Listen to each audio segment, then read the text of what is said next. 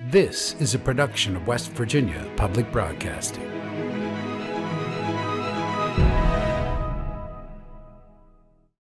Support for the legislature today is provided by Marshall University, committed to teaching, research, and professional training, with degree programs in multiple locations and online. More about the Marshall family at marshall.edu. Embassy Suites by Hilton Charleston, an all suite hotel and conference center minutes from Yeager Airport and Capital Markets. Reservations and brasserie dining information available at Hilton.com.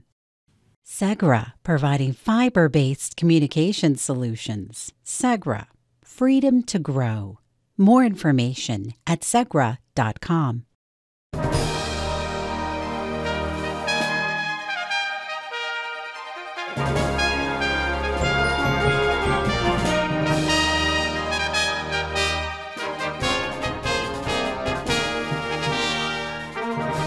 Good evening from Charleston. I'm Bob Brunner.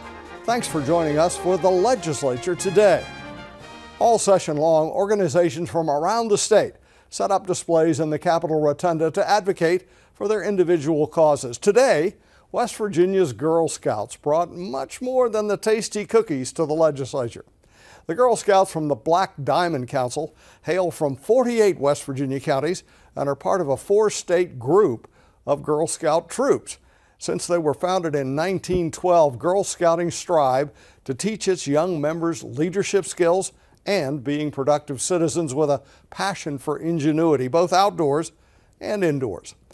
Black Diamond Council CEO Beth Casey says the girls come to the Capitol for a twofold purpose. The first being to see the legislature in action.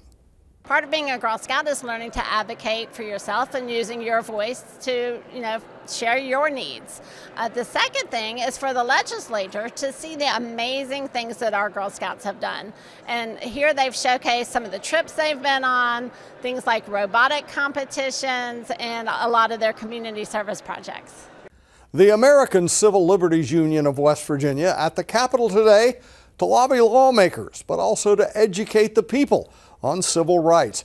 The ACLU's Lobby Day brought advocates for criminal justice reform, LGBTQ rights, and faith organizing to the heart of the state's lawmaking process. Eli Baumwell is the interim executive director of ACLU West Virginia. He says it's important for his staff to make contact with legislators, but also to educate and engage the public on their own civil rights and liberties. Well, because we cover such a large range of issues, sometimes they get lost in the day to day news shuffle. But these are all really important issues. They affect basic civil rights and basic civil liberties, and we think it's very important that the public is educated about them. Baumwell says the ACLU would like to see voting rights expanded to people on probation and parole this session and will be following issues of capital punishment closely. West Virginia University men's basketball coach Bob Huggins honored by the legislature today as well. The Naismith Memorial Basketball Hall of Fame coach, congratulated with citations read in both the House and Senate chambers, Huggins played for the Mountaineers back in the 1970s and has coached his alma mater since 2007. Over his 41 seasons, he's coached more than 1,300 career games, had more than 800 victories, and is the second winning active Division One coach, right behind Jim Boeheim of Syracuse. Huggins has notched more than 300 career victories with the Mountaineer squad, second all time to Coach Gale Catlett's 430. Congratulations, Huggy Bear. As the legislature settles into the business of lawmaking, committees represent a crucial step in the process. It's where legislators can study and discuss a bill in depth before returning it to the floor. Reporter Chris Schulz was at this Tuesday's Education Senate Committee and spoke with Chairwoman Senator Amy Grady afterwards. Senators gathered in the Senate Finance Committee meeting room to discuss two bills Tuesday morning. Senate Bill 187 creates a new criminal offense of sexual contact, intrusion, or abuse of students by school employees, regardless of the student's age. Senator Charles Clements of Wetzel is the vice chair of Senate Education and the lead sponsor of the bill. He said he was inspired by an incident in his home county where school employees were involved with 18 year old students, but no crime was committed due to the student's age. He said people in positions of trust must face consequences for abusing that trust. Senate Bill 124 authorizes the State Board of Education to create a child sexual abuse and sexual violence prevention program and in service training in child sexual abuse prevention. Senator Amy Grady of Mason is the Senate Education Committee chair. She says although such incidents aren't common in schools, it is important for students to be aware that something wrong is happening. But unfortunately, we've all seen cases where they do. So, and, and at home. And uh, making sure those kids understand what's happening to them and understand resources they, they can have and people that they have that they can go to if something that maybe they don't realize is wrong, because a lot of times these predators will, will train these kids to realize, think this is normal. Grady is a fourth grade teacher and, as such, is the first full time public school educator to serve as chairman of the Senate Education Committee since 1970. I'm in the trenches, so to speak. My experiences as a classroom teacher are really, really important. And um, it's really hard to work on something in public education if you've never really been on the other side of it. So it gives me a unique perspective that I'm really excited about putting to work to make sure that we can make some positive changes. Grady says she has a lot of priorities for the Education Committee this session, but tries to take time to meet with other teachers and administrators. She says she meets every week with Superintendent David Roach to ensure the legislature and Department of Education are working in tandem. So we have to work together to make sure we're on the same page. And I think that's really, really important. Um, but the number one focus being student success. Every single thing that I focus on in my committee is focused around the students. And does this help our students in any way? And that should be the main focus of everybody. Grady says she and the superintendent have already worked together on their shared priority of early childhood literacy and numeracy. Another concern for the chairwoman is teacher pay. She says she's seen firsthand the competition from border states with higher pay for existing teachers, but attracting new teachers is also a concern. For the legislature today, I'm Chris Schulz. Yesterday, we covered a number of legislative issues with Senate President Craig Blair. Tonight, we move to the House of Delegates as government reporter Randy Yohe sits down with House Speaker Roger Hanshaw, Republican of Clay County, with his take on the progress and problems in these early legislative general session days. Thanks, Bob. Uh, Speaker Hanshaw, welcome, and uh, we're glad you're here on the legislature today. I'm going to call you Roger if you don't mind. I don't. Because we've done that before. I don't mind at all. All right, I appreciate that. Let's start out with one that's close to your heart early childhood education. It is. It seems like everybody is on the same sheet of music right now. We saw where uh, Superintendent Roach had come out with his plan for the first, second, third, and fourth grade. I know that you've had a plan for first and second grade teachers' aides. Then the governor in his state of the state says, let's put $37 million into first grade teacher aides. Tell me why that's so important, not just for those grades, but for the entire West Virginia education system. Yeah, it is. I'm happy to talk about that because earlier this fall we saw some numbers uh, on on on performance scores from our public education students that really should should give all of us a moment of pause, Randy. I, I, I think that if coronavirus has taught us anything over the course of the past couple years, it is that remote education is tough and distance learning is difficult under even the best of circumstances. So one of the things that we know from the data is that teaching students how to read by the time they finish the third grade is really, really a, a, sweet spot. That if we don't, if we don't help students learn to read at grade level by the time they reach the third grade, the likelihood of them ever reading at grade level in their lifetimes is a single digit number, is, is, is very small and falls off precipitously even after that. So we really have an opportunity here with the surpluses that we're seeing in terms of the budget now, and the influx of federal money that our, our counties and boards of education, as well as the state, have received to make a meaningful impact on not just public education in, in the first, second, and third grade, but really in the whole, the whole continuum of K through 12 education. Because get, getting students up to grade level early helps them be successful the whole rest of their time in, in, the, in the school system and, and in life. And you're a data driven guy, and the data really shows that in first, second, and third grade, an impetus there makes a whole difference uh, for kids that get into high school and want to go on to secondary it, it, really does and you're right i do like i like making decisions based on numbers i like making decisions based on data and that's that's what the numbers show. The numbers tell us that we need to get it done and we need to get it done by the third grade.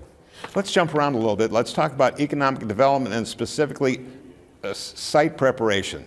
Now, we saw that many of the 29 companies that came into West Virginia last year are non-fossil based, are mm -hmm. renewable energy based. Mm -hmm. and, and, we, you and I have talked before that this is a whole new era for West Virginia. And maybe that's not even a new era anymore. Now it's our era. Uh, I don't think we can take new off of that, perhaps. But we've talked about not laying a flat piece of land out anymore and saying, okay, this is ready for economic development. What are some of the specifics now that we need to do for site preparation? And is there any legislation that goes into that? Yeah, it doesn't just stop with a flat piece of property anymore, Randy. You're right about that. Even though that continues to be a, a bottleneck for us, and we still have to we still have to continue putting money into making sure that we're we're we're ready when a company wants to come here and, and build a facility. But it's no longer just about having that flat piece of property. Now it's about having adequate transportation and, and, and transportation corridors to that site. It's about having uh, transmission and distribution electricity delivered to that site. It's about having natural gas ready at that site. And, and even at, to peel back the onion one layer further, it's, it's perhaps not just enough to say we have electricity at that site. It's do we have the kind of electricity at that site that the customer wants to buy.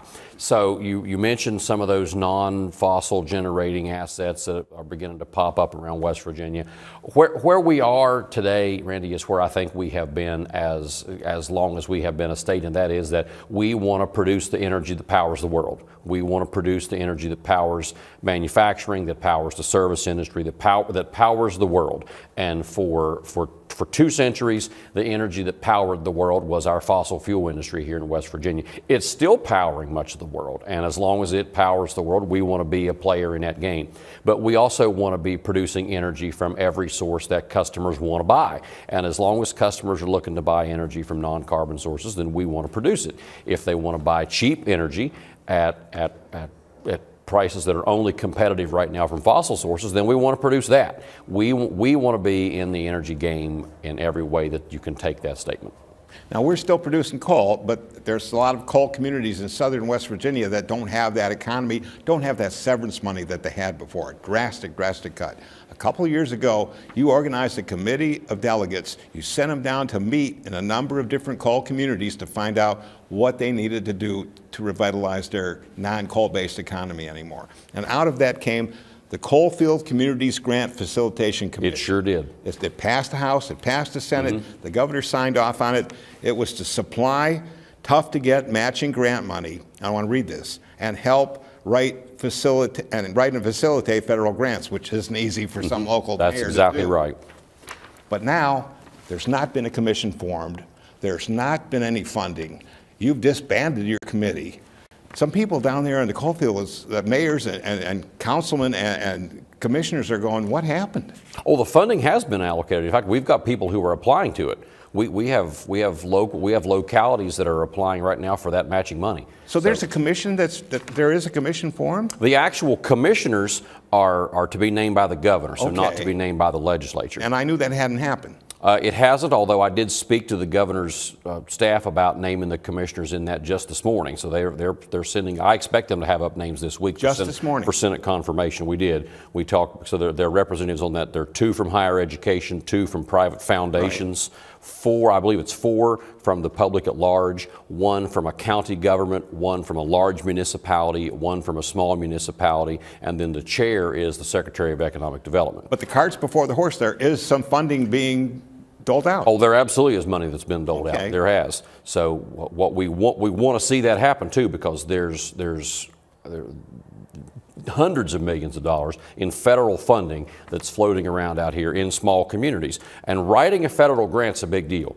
Writing a federal grant is a, is a difficult thing to do, and making sure that you've met the matching requirements, that you've, you've met the, the reporting requirements, that you don't end up having to pay some of that money back is, is a problem. You want to make sure that it's, that it's done correctly. So I expect we'll even put more money in that program this year. That's great. I know they expected a quarter billion dollars just to be seeded into it at first, and, and that, that was going to help out a lot of communities. So that's really good news that, that today that that's happening. I've been riding that one for a while, yeah, we, we, we, have, we have the, the municipalities around the state, the county governments around the state, and the boards of education are actively applying and receiving funding right now. It's good to hear. I'll call a couple of my mayor friends and tell them that.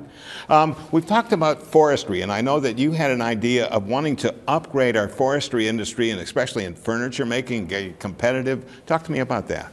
Yeah, it is. One of the things that we're interested in doing is making sure that we're we're taking down as many barriers to industries, Randy, as we can around the state.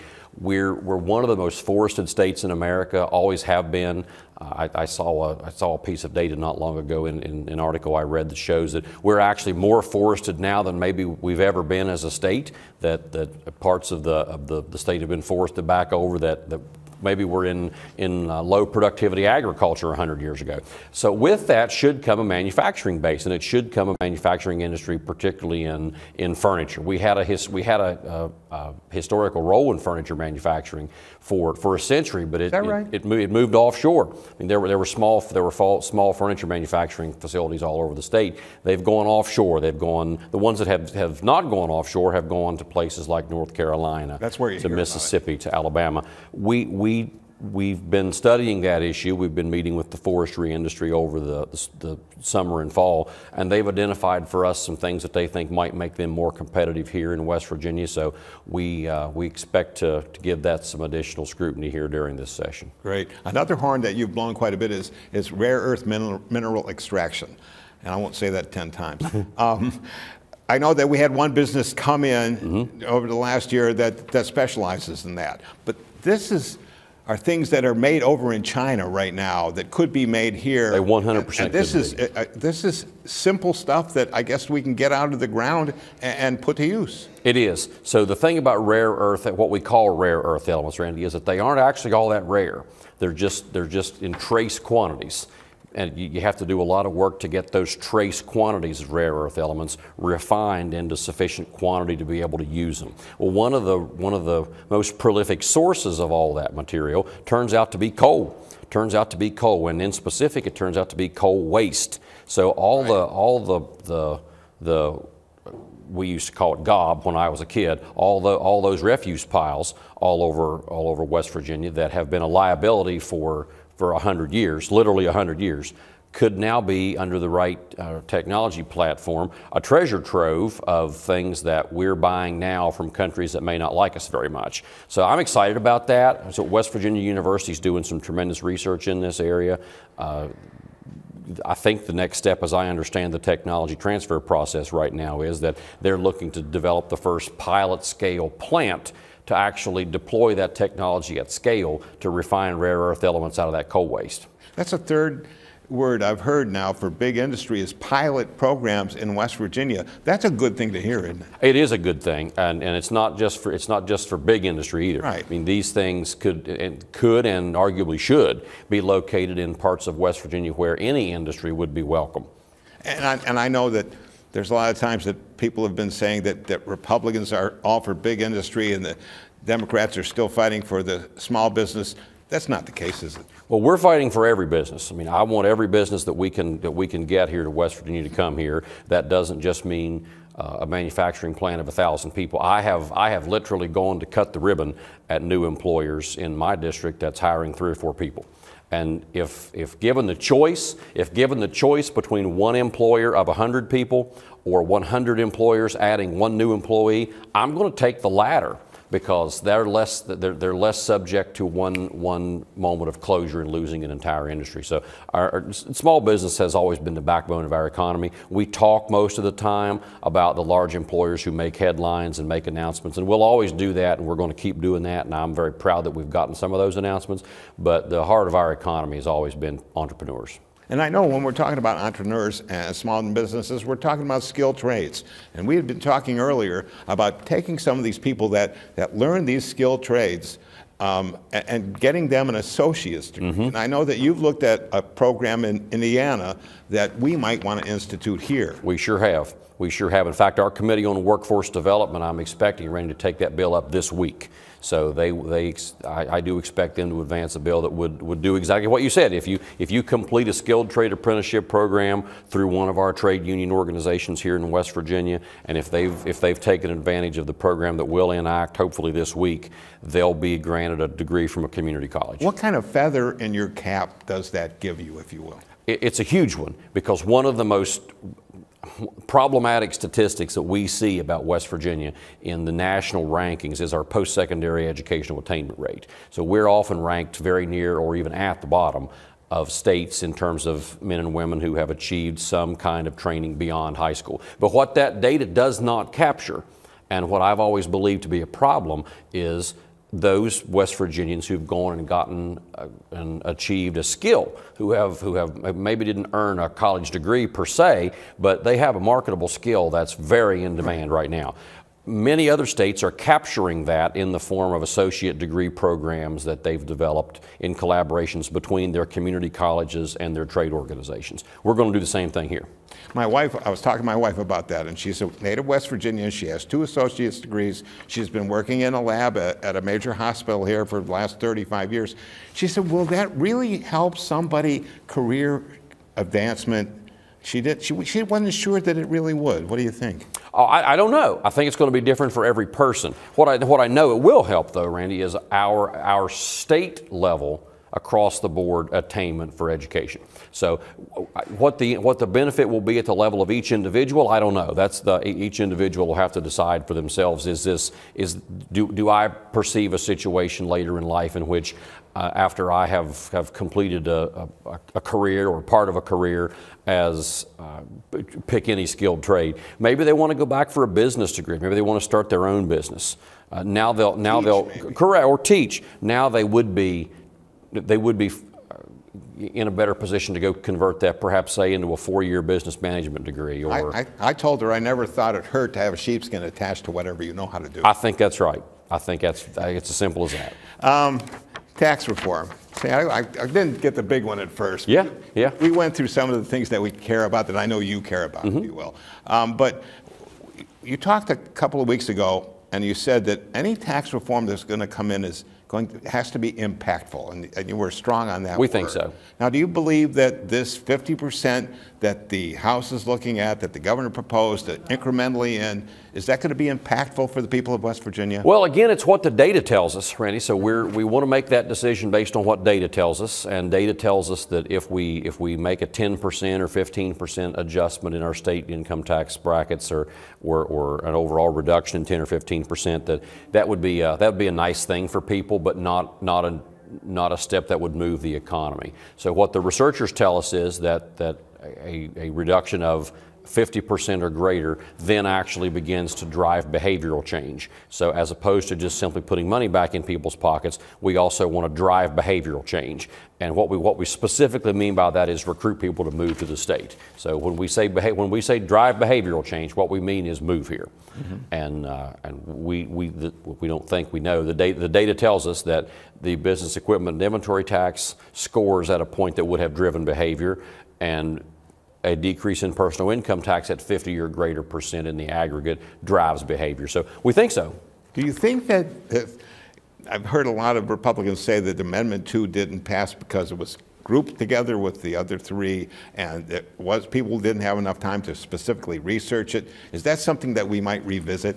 Well, I think there was great confusion about all four amendments, Randy. So whether whether I, I, certainly wouldn't describe motive to the voters on why any of the four didn't pass, but I do think because we had four of them that it became very confusing for the voters. So I, I know I know I learned a lesson on that. That if it's up to me again, I personally wouldn't put more than one on a ballot again for the voters to consider, so they can focus in on it and get all the education that they need or want. Uh, will, would we revisit it again? I guess it depends on what happens with tax reform here this week. So if we uh, if we do move forward on a 50 percent reduction in personal income tax. That comes at a price tag, and that price tag is significant. So uh, we, we were planning to pay for all the proposals to eliminate the personal property tax on business equipment inventory in a certain way, and whether that is still available if we do a personal income tax reduction, I don't know. What's your perception on how the Senate is going to receive the 50% personal income tax that well, you so guys are about to pass. Yeah, we, we've talked about that. I mean, we, we meet nearly every day, and we've had that conversation. And the, the, the, the motivation, I think, is shared between our colleagues in the Senate and, and the governor's office, and that is that, that whatever it is we do, it has to be impactful and it has to drive behavioral change. So we don't want to, we don't want to, we collectively don't want to do anything that just fritters away money. If we're going to do it, we want to do it big enough and bold enough to drive behavior. We've got less than a minute left. How do you feel things are going so far? I know we're only five, six days in, uh, and there was talk of this was going to be a lot of contention. How do you feel things are going so far with the session? It's seven days, but who counts?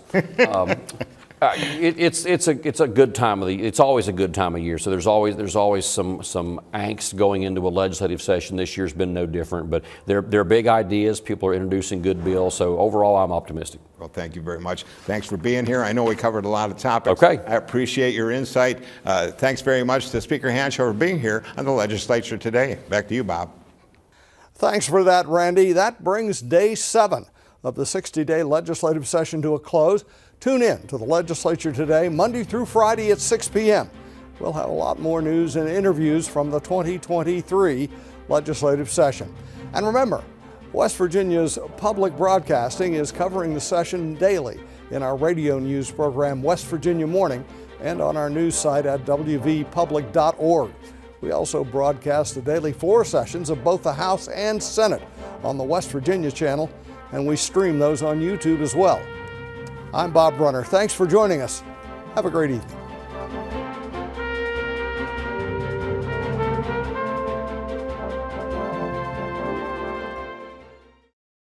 Support for the legislature today is provided by Marshall University, committed to teaching, research, and professional training, with degree programs in multiple locations and online. More about the Marshall family at marshall.edu.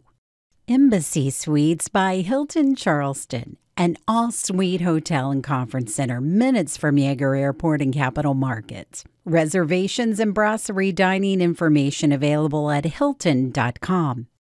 Segra, providing fiber based communication solutions. Segra, freedom to grow. More information at segra.com.